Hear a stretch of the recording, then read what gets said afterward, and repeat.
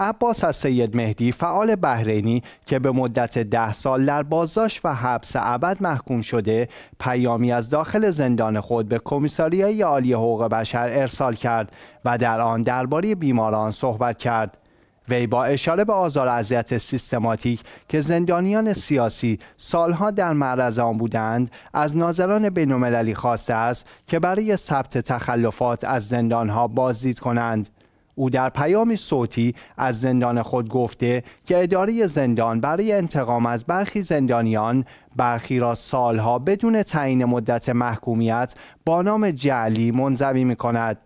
این فعال شیعه با تایید اینکه مدیریت زندان همچنان از احیای شعائر دینی توسط زندانیان جلوگیری می کند افزود ما فقط یک ماه و نیم یک بار و فقط سی دقیقه از طریق دیوار شیشه‌ای با خانواده ملاقات می کنیم. ما روزانه فقط 45 دقیقه مجاز به آفتاب گرفتن هستیم و آیا در این مدت کوتاه تماس پیاده روی و ورزش منطقی است؟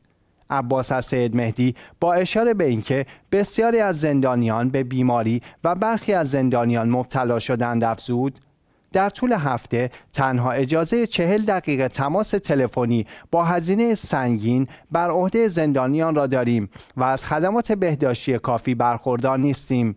این زندانی خواستار بازدید ناظران بینالمللی از زندانها و مستندسازی بدرفتاری و آزادی آزار زندانیان سیاسی شد.